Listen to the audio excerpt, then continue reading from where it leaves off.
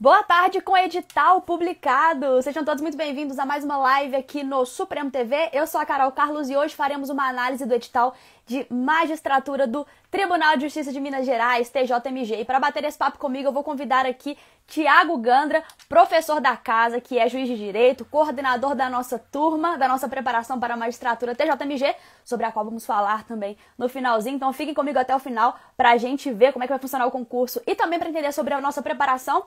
E enquanto eu convido o Tiago e fixo aqui nos comentários o tema da nossa live para todo mundo entender do que, que a gente está falando, eu já peço para vocês para enviarem essa live para os amigos aqui no aviãozinho, no cantinho aqui da tela, beleza? Porque aí assim a gente consegue chamar mais gente para entender como é que vai funcionar esse certame, beleza? Vou fixar aqui nos comentários. Análise de edital. Magistratura. TJMG. Quem aqui tava ansioso, ansiosa por este concurso, hein? Deixem aqui para mim no chat. Sejam muito bem-vindos. Lucília, compartilhando direito. Luiz, Dessa. Vamos começar então o nosso papo. Vou chamar aqui professor Tiago Gandra. Consegue me ouvir direitinho, pessoal? Tudo certo? Tiago, tudo bem? E Carol? Tudo jóia? Tudo jóia. Melhor ainda com esse edital, né? Publicado aí para todo mundo é, que estava ansioso para fazer esse concurso. É, eu estava apostando nesse edital agora no segundo semestre, até estava com uma certa esperança da prova ser ali por volta de dezembro e tudo, uhum. mas ficou mesmo, mesmo corrido, o tribunal preferiu mandar para fevereiro. Também acho que é mais razoável, né? Esperar aí a vacinação avançar, a gente poder fazer uma prova com mais tranquilidade, né? Então, ficou para fevereiro. Verdade. Vamos ter que ganhar mais um tempo. É, Bom que ganha mais um tempinho para se preparar e a gente vai falar sobre o curso ainda hoje nessa live aqui, né? Bom, para a gente começar então o nosso bate-papo, eu vou fazer só um panorama de inscrições, taxa e remuneração, e aí eu te passo a palavra para saber mais alguns detalhes, tá bom? Pessoal, as inscrições para o concurso vão das 14 horas do dia 25 de outubro às 16 horas do dia 23 de novembro. A taxa de inscrição é de 300 reais e a remuneração do cargo de juiz substituto é de 30.404,42. 30.404,42. 42. Tiago, agora eu quero te ouvir. Você que é juiz de direito, professor da casa, coordenador do nosso curso, tem uma vasta experiência profissional aí e que coordena a nossa turma também. Vamos falar então sobre vagas e requisitos. Quais, quantas são as vagas e quais são os requisitos que os candidatos que vão fazer esse concurso precisarão ter aí para prestar este concurso? É, o tribunal abriu com 82 vagas né? Aí já separam 58 para ampla concorrência e aquele percentual, né, de 10% para é, é, portadores de deficiência e 20% para a população negra, né? Os candidatos negros. É, então, nós estamos com 82 vagas, 158 de ampla concorrência. É, mas certamente precisa de mais. Eu acho que, embora o tribunal tenha aberto concurso para 82 vagas, é, se houver aprovação em número superior a isso, pode ser que ainda haja formação de, de reserva e convocação, sabe? Uhum. Entendi. É, e, e, essa, essa questão das vagas é sempre uma preocupação, né, de todo mundo. Ah, são quantas vagas? Será que são poucas vagas? São muitas vagas? Então, bom saber que é preciso ter até um pouquinho mais, né? É, não, sem dúvida. A verdade é o seguinte: é, a verdade é que no TJ de Minas, pelo menos eu imagino eu que nos próximos anos vão ter concurso todo ano, praticamente, uhum. porque há uma defasagem, há uma necessidade, né? E nós vamos ter aí é, muitas aposentadorias nos próximos, talvez, dois ou três anos. Então, nós vamos ter ainda, é, nesses próximos anos ainda, algumas, alguns concursos ainda. Eu acho que ainda, pelo menos dois ou três anos seguidos de concurso. É, agora, sobre os requisitos, né, você tinha comentado, os requisitos, eles estão todos previstos lá no, no item 4 do edital, é, eu até estou com o edital aberto aqui, porque são vários requisitos. Né? O pessoal uhum. às vezes fica com um pouco inseguro, mas eles sim, eles estão bem relacionados no item 4. No item 4.1 do edital, você encontra lá, é, obviamente, para ingressar na carreira, né, aprovação no concurso, aí tem que estar no exercício dos direitos políticos, civis, é, tem que ser brasileiro, né? Ah, aqui ainda tem que estar em dia com as obrigações eleitorais, no caso de homem, está em dia com serviço militar, bacharel em direito no mínimo há três anos, né? Tem aquela questão também do, da prática jurídica da atividade, tudo, é, que a gente vai falar daqui mais para frente um pouquinho. A questão importante é que não pode ter antecedentes criminais, né? É feita uma investigação social e criminal é, em relação aos candidatos, então é, evidentemente que você não pode ter antecedentes criminais, é, e mesmo que haja qualquer tipo de registro, você vai precisar justificar, porque às vezes a pessoa tem algum registro, mas que não configura a condenação por um crime, mas aparece uhum. o registro. Então você talvez tenha que justificar é, por que, apareceu aquele registro lá, enfim. É, desde que não haja uma condenação, não vai ser empecilho. Muita gente tem essa preocupação, né? Ah, não, mas uma vez aconteceu uhum. isso comigo.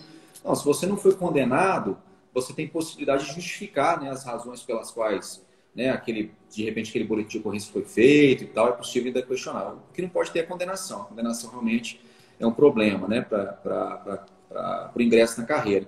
E, evidentemente, uhum. saúde física, mental, isso tudo vai ter que você vai passar por exames e tal. Né?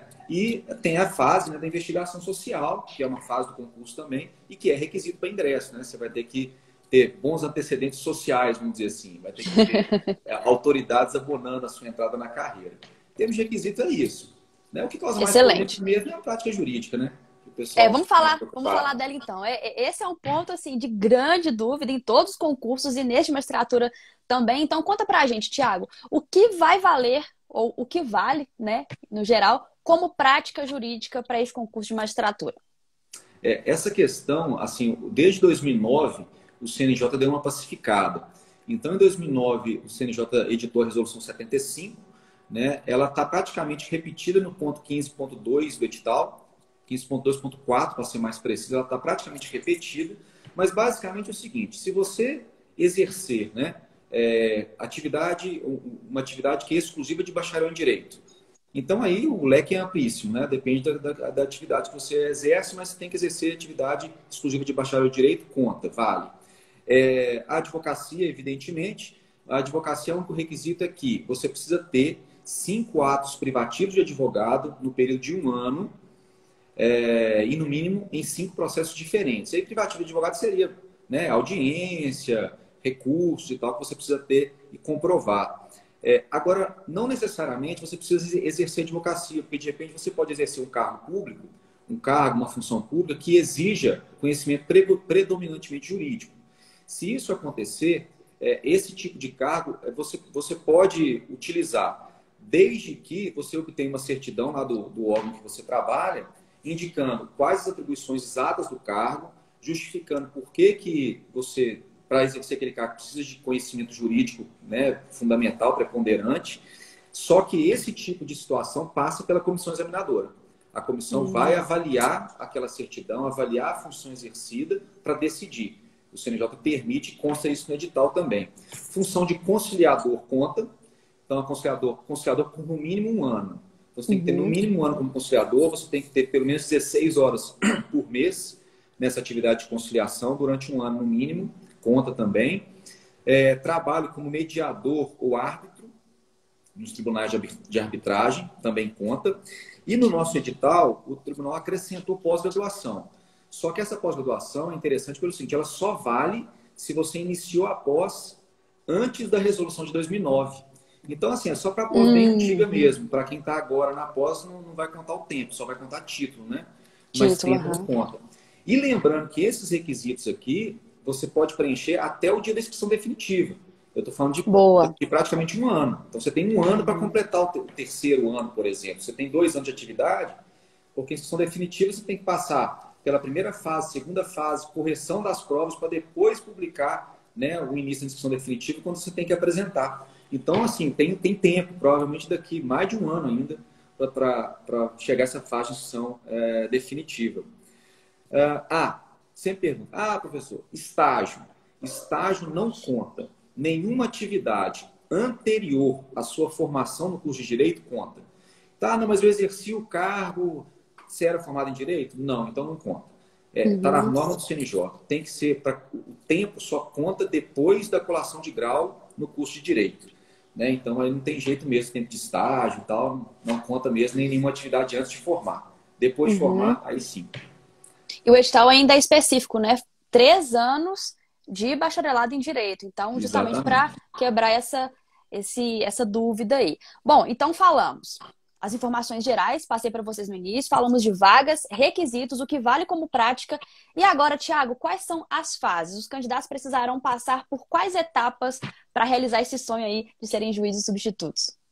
É, as etapas do concurso de magistratura também, já há algum tempo, estão regulamentadas pelo CNJ, essa mesma resolução, 75, e a gente tem prova objetiva, né, que são a, a, as questões fechadas, né, a prova, as duas etapas de prova escrita, uma com questões mesmo discursivas e outra com duas provas de sentença, né, sentença civil e criminal.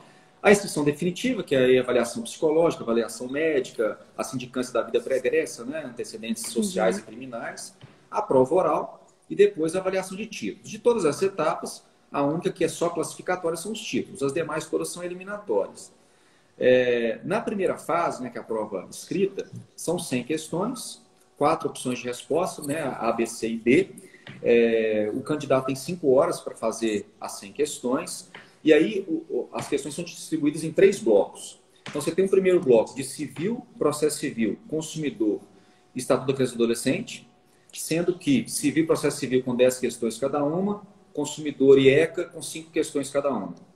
É, o bloco 2, com penal, processo penal, constitucional e eleitoral, com todas, cada uma com 10 questões.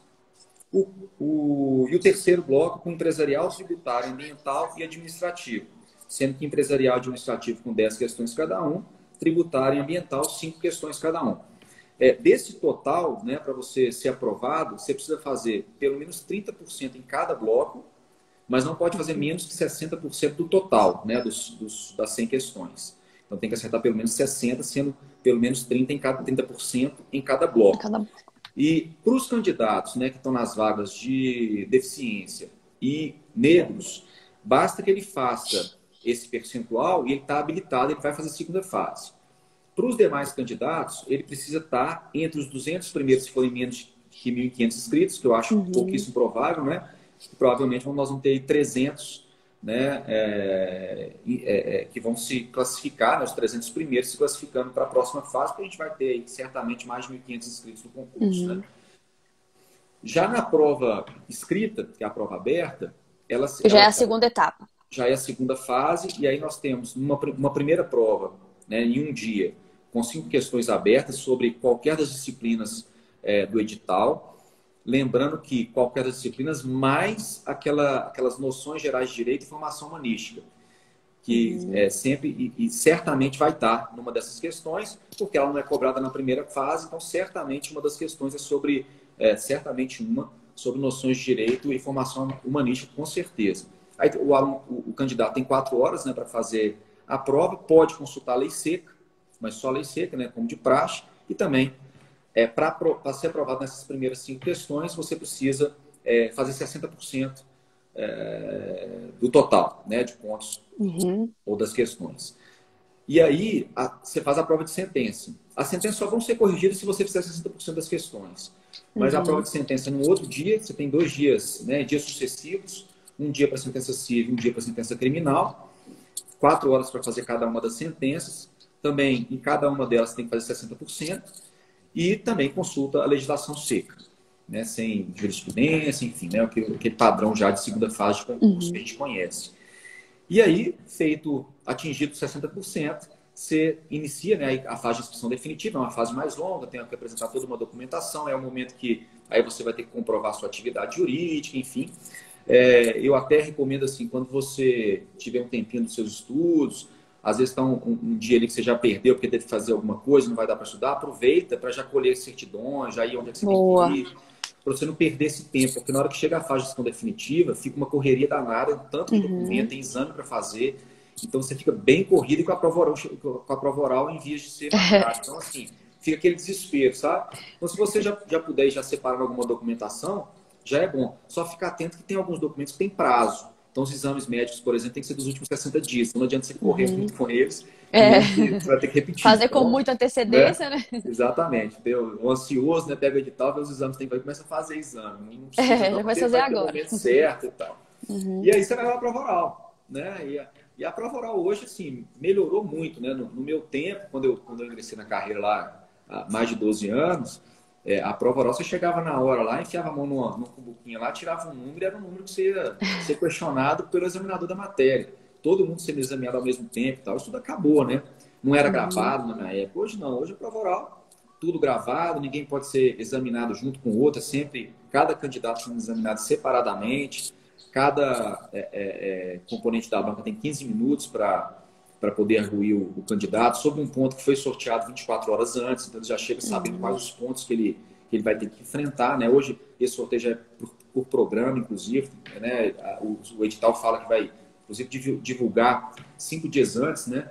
o, o, o programinha para você ingressar. O não ingresso no programa representa a desclassificação do, do certame e tudo.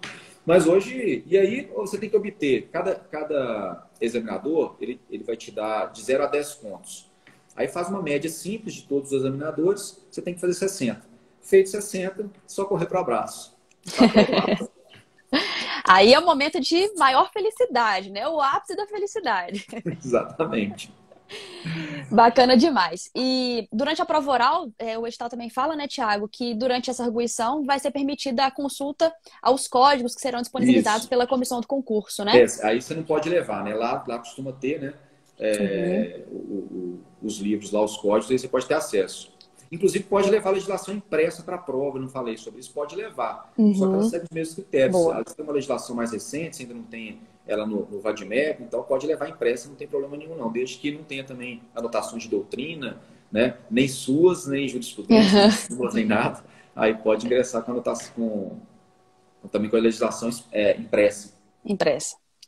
Bacana demais. E, Tiago, você que já tem experiência, né, profissional vasta aí, já exerce o, o cargo já há bastante tempo, que passou por um concurso, com esse edital, vendo assim e, e, até sentindo também a temperatura do concurso aí, o que você pode falar para quem está nos assistindo sobre as provas? O que a gente pode esperar dessas provas? E depois eu vou falar aqui sobre as datas, porque o edital traz umas datas aqui prováveis, né? Só prova oral e de giros que nós não temos data específica ainda, só os meses, mas depois eu vou falar disso também. Conta pra gente.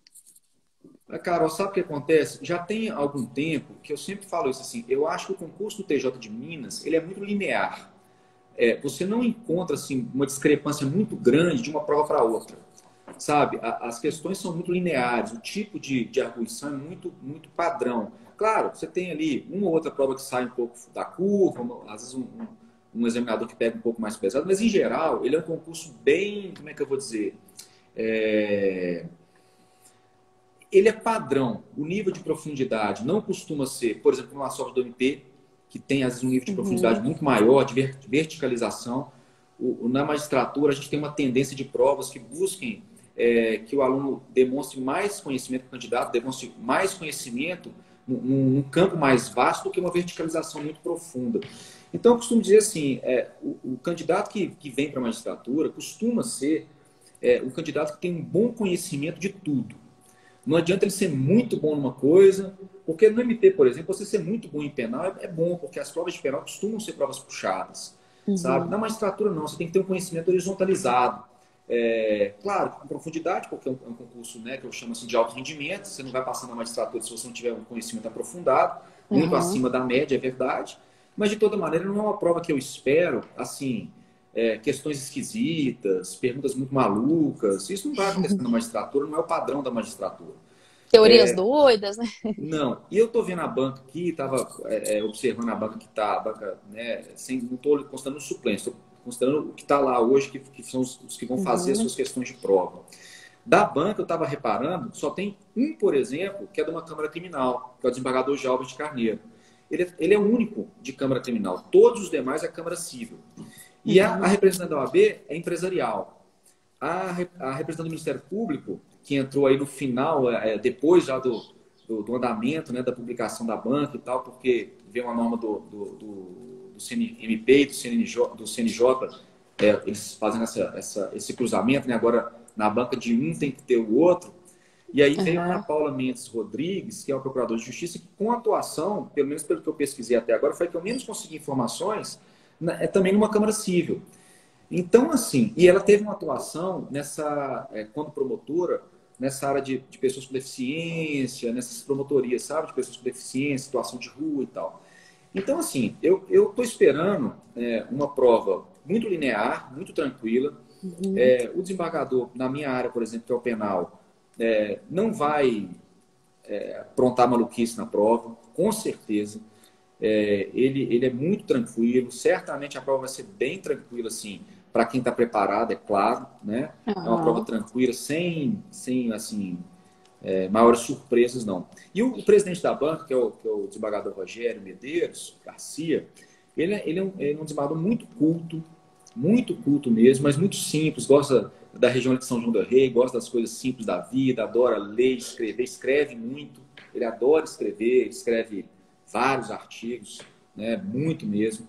Então, assim, é, eu espero da banca né, uma prova tranquila, com nível de profundidade exigido uma magistratura, mas nada de surpresa, de desespero, não. Prova absolutamente tranquila é o que eu espero. Né? Espero que eu acerte. Estamos confiantes aí. E pra, só para falar as datas para o pessoal que está nos assistindo, pessoal, prova objetiva 20 de fevereiro de 2022, discursiva 6 de maio, a, a sentença civil 7 de maio, a sentença criminal 8 de maio, então dias consecutivos, prova oral prevista para novembro de 2022 e prova de títulos para dezembro de 2022. A data certinha vai sair depois, mas essa é a previsão.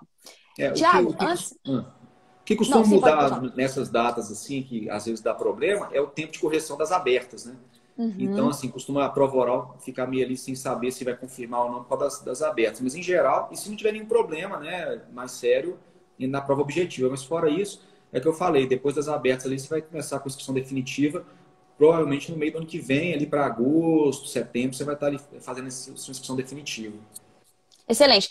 Felina Rosa está perguntando: vai ter curso? Vai, óbvio. Calma, a gente já vai falar disso. Só uma dúvida que surgiu aqui no chat a gente já falou sobre prática jurídica. O Flaber Souza, advogado, advogado, advogado ativo, conta como experiência jurídica? Entra naquela, naquele quesito da, da advocacia, né? Conta, conta. A advocacia voluntária conta. Conta sim. Excelente. Tá? É, é, eu não sei assim como é que o pessoal, eu não sei de onde o pessoal está conversando com a gente, a gente acaba no Brasil todo, mas assim é muito comum o, pessoal do interior então que tem mais facilidade, os, os trânsitos, é, o trânsito ajuda, você tem mais deslocamento, é cheio de dativo todo mundo quer ser dativo justamente porque está trabalhando, né? Cinco processinhos por ano é bem tranquilo. Excelente, é isso aí.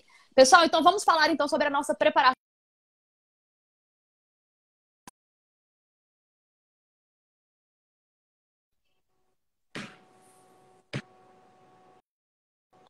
Planejar um curso realmente completo para o nosso aluno, com total cuidado, com toda preocupação, com a jornada de estudos dele mesmo. Você coordena a nossa turma, como eu já falei aqui várias vezes na live. E, pessoal, o curso completo, e eu vou explicar o que, que vocês vão ter nesse curso. Olha só. Turma teórica, totalmente online treinamento de exercícios, 14 horas de exercícios para vocês fazerem esse treinamento, que é muito importante também para praticar e, claro, para encontrar ali os seus pontos de maior fragilidade, né, Tiago? Para saber qual matéria você precisa se dedicar um pouquinho mais, qual delas você. Não, agora já estou tranquilo nessa, vou me dedicar mais em penal, por exemplo. Então é muito importante fazer treinamento. Então, 130 horas de aulas teóricas, 12 14 horas de aulas de exercícios. Além disso, nós teremos um diferencial muito bacana nessa turma, que é o que a gente chama de análises estratégicas, que serão ao vivo. São 12 horas de análises estratégicas, que são, na verdade, uma análise da disciplina do concurso, como ela vai funcionar, as dicas mais estratégicas para você prestar aquela prova naquela disciplina. Então, vai ser muito bacana e essas análises serão ao vivo para os nossos alunos. E também teremos curso de súmulas e jurisprudência. A gente sabe o quanto é importante esse tipo de estudo, principalmente para os concursos de magistratura. Então, nós tivemos esse cuidado de incluir aí para vocês um curso que vai ser totalmente novo. Você sabe, né? O Supremo não trabalha com junta junta de aulas e esse curso de súmulas e jurisprudência vai ser gravado especialmente para essa turma. Então, de acordo com o edital, com todas as previsões, totalmente novo, completo. Tenho certeza que vocês vão adorar. E o corpo docente, vocês já sabem, é o melhor corpo docente do Brasil, né? Tiago, fala mais um pouquinho para a gente sobre a turma e depois eu vou falar sobre o desconto, que eu sei que vocês também estão curiosos para saber. É, eu estou vendo aqui, ó, deixa eu só responder duas perguntas que eu estou vendo aqui. Ó. Vamos Primeiro, lá. Primeiro, é, estágio pós conta tempo sim, você já está formado, já é bacharel em Direito, é atividade exclusiva né, do bacharel em Direito Estado de Pós-Graduação em Direito, é claro, tem que ser em Direito. E quem fez transação penal você pode participar. Aí, aí entra naqueles casos que eu falei, assim, a transação penal não representa condenação. Então você não tem antecedentes criminais, mas certamente essa transação penal vai aparecer.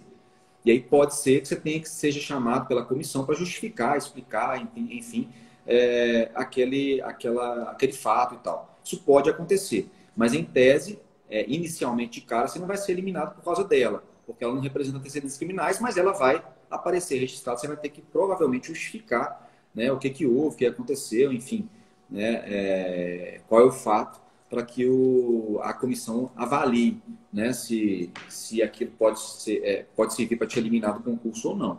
Tá? Mas, em princípio, a transação penal, como não é condenação, em tese, não impediria. É... Quem já adquiriu o curso de magistratura tem. Ah, aí é. Ah, vamos, vamos, vamos, vamos falar disso, vamos falar disso sim. Bom, pessoal, rapidamente aqui só para a gente falar do desconto, que eu sei que é um ponto que vocês adoram saber, né? A turma está no nosso site já, então já podem correr lá para fazer matrículas prêmiotv.com.br. O link está na nossa bio, inclusive. O valor da turma, pessoal, o investimento para essa turma é de 1.760.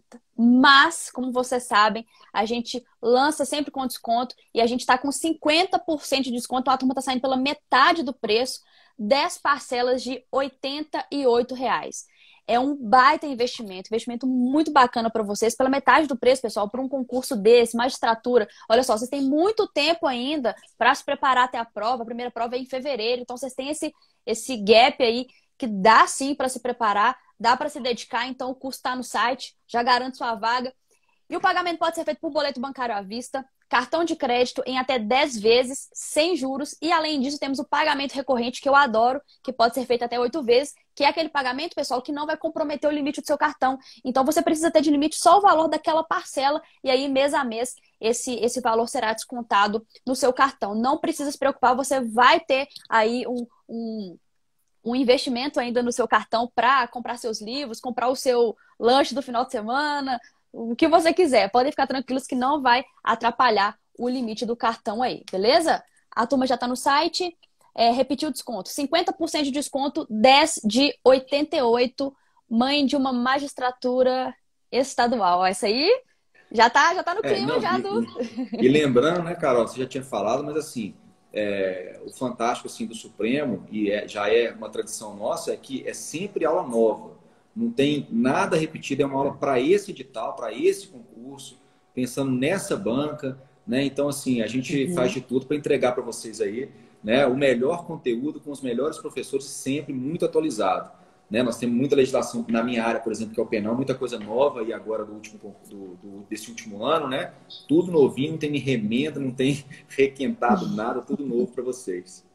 Exatamente. E, e, esse é um ponto assim que a gente precisa ter muita, muita atenção, né, Tiago? Com cursos complexos que vão te exigir mesmo uma, uma, dedicação, uma preparação de qualidade. Então, gente, não caiam nessa de que, ah, compre aqui o seu curso, temos aqui não sei quantas horas de aula e você vai ver realmente as aulas são antigas, aulas desatualizadas. Tivemos atualização, por exemplo, no CPC há pouco tempo atrás, galera. Então tomem cuidado com isso aí, porque o Supremo sempre se preocupa com isso e sempre vai se preocupar, afinal, o nosso aluno é o nosso foco sempre. Perguntaram aqui sobre a turma de é, magistratura que já que nós tivemos há um tempinho atrás. Pessoal, se a sua turma tem garantia de edital, fique super tranquilo, você terá acesso a essa turma edital publicado. Porque a garantia de edital dos nossos cursos diz o seguinte: se o edital sair até X data, você matriculado nessa turma pré-edital vai ter aí acesso gratuito e imediato à turma edital publicado. Confira isso aí direitinho e se tiver, claro que você vai ter sim essa turma no seu portal. Deixa eu ver, tem mais alguma dúvida? Aulas novas são diferen... é, diferenciais importantes, exatamente. A gente não trabalha com aula reaproveitada aqui, não. Aqui é time supremo, ó. Time supremo. Tiago, muito obrigada, viu, pela participação. Foi excelente a live. Tenho certeza que ficou muito claro aí como é que vai funcionar o concurso. E, pessoal, temos uma análise também do edital no nosso blog. É só acessar lá o blog do Supremo. Todos os detalhes estão lá para vocês, beleza? Se perderam a live, vai ficar salva, assistam novamente, mandem para os amigos e vamos com tudo nessa turma. A gente espera todo mundo, né, Tiago? Na turma que está lá no site já. Aí. Tamo lá.